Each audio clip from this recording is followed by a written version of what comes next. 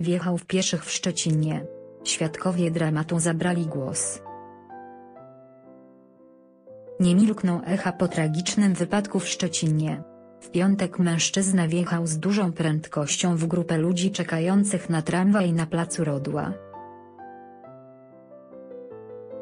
Poszkodowanych zostało 19 osób, w tym dzieci. Świadkowie opowiedzieli, jak zachowywał się sprawca chwilę po zdarzeniu. On był bardzo spokojny, twierdzą. Tragedia w Szczecinie. Nowe informacje o stanie poszkodowanych. Do zdarzenia doszło przy placu Rodła w Szczecinie, w piątek po godzinie 15. Z niewyjaśnionych przyczyn samochód osobowy wjechał w grupę osób, które przebywały w okolicy przystanku tramwajowego. Sprawca uderzył następnie w inne pojazdy. Próbował uciec z miejsca tragedii. Ujęli go świadkowie. 33-latek został zatrzymany przez policję. Poszkodowanych zostało 19 osób, w tym dzieci. Trafiły do trzech szczecińskich szpitali, w Zdunowie, przy ulicy Arkońskiej i ulica Unii Lubelskiej.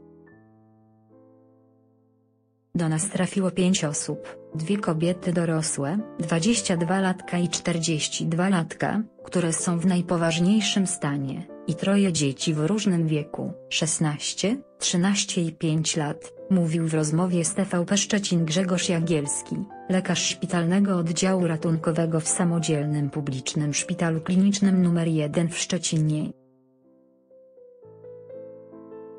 22-letnia kobieta przebywa obecnie na oddziale intensywnej terapii.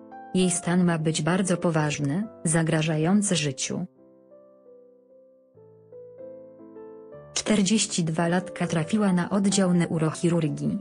Stan trójki dzieci przebywających w szpitalu przy ulicy Unii Lubelskiej jest określany jako stabilny. Wjechał w 19 osób. Sprawca wypadku leczył się psychiatrycznie. Sprawie głos zabrali świadkowie zdarzenia. Według rozmówców Gazety Wyborczej kierowca mógł pędzić nawet około 130 km na godzinę w środku miasta. To wyglądało tak, jakby kierowca pędzący od strony bramy portowej specjalnie skręcił na pasy, przejechał przez chodnik między jezdniami, tory tramwajowe i dalej przez drugą część przejścia dla pieszych,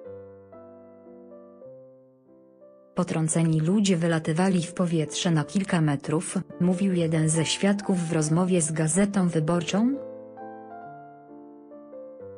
Policja przesłuchuje świadków i analizuje wszystkie wersje. Ich wynik zadecyduje po podjęciu dalszych czynności. Funkcjonariusze sprawdzają, czy 33-latek był pod wpływem substancji psychoaktywnych. Potwierdzono, że mężczyzna leczył się psychiatrycznie. Wypadek w Szczecinie.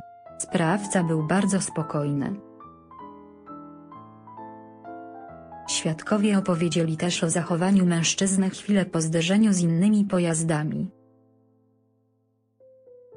W rozmowie z portalem w Szczecinie.pl jedna z osób przekazała, że 33-latek nie okazywał żadnych emocji, jakby nie spowodował chwilę wcześniej przerażającego wypadku. Wysiadał przez okno, bo drzwi się nie chciały otworzyć. Trzymali go jacyś faceci. On był bardzo spokojny, nie miał żadnego wyrazu twarzy. Tego mężczyznę przytrzymał taki pan w czerwonej kurtce, gdyby nie oni, to by uciekł, mówił